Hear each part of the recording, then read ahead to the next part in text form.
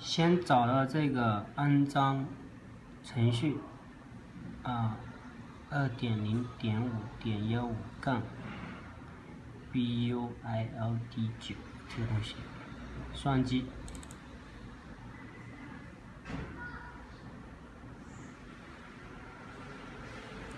是，它就会出现一个中文，还有英文。啊，我们选选中了，确定，下一步，下一步，呃，我是安装在 C 盘这个文件夹里面，好，再下一步，下一步，下一步，安装。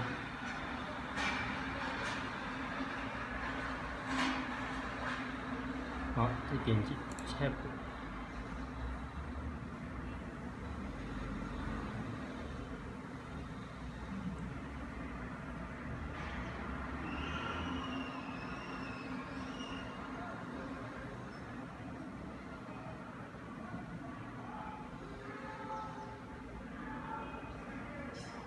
好，完成了啊，然后。桌面就会出现一个快捷方式，这里把它打开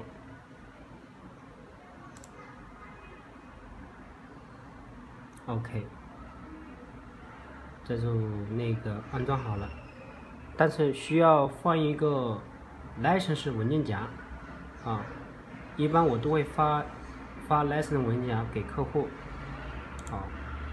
我的 license 文件夹是放在，刚我们看到了，我是安装在 C 盘，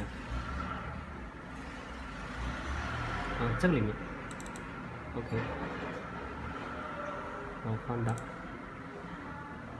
这里面有一个文件夹，对，它之前是没有的，但是你只要把它直接拷贝进来就可以了，我把它那个。剪切掉，我放到桌面，OK，然后我们再看一下 C 盘，不是安在这个文件里面，然后这里面安装好是没有那个文件夹，然后我们只要把这个这个 license 文件夹直接。我可能是放这里面了，错的。我们再弄一遍啊。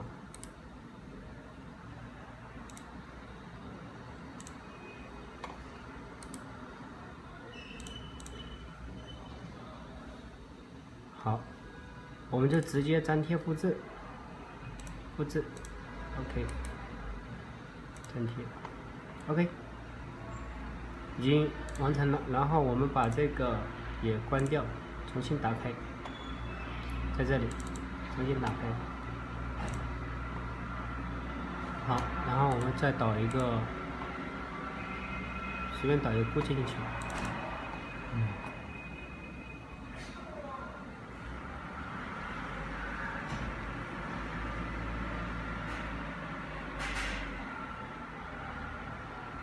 等一下哈，这固件有点大，导进来有点慢。